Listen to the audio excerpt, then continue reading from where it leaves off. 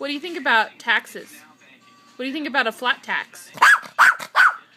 But it's a but Maddie, it's a fair system. It, it's, it means it's the same taxes for every. Maddie.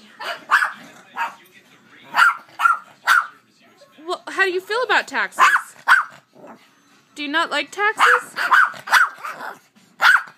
Is it bullshit? All right. How do you?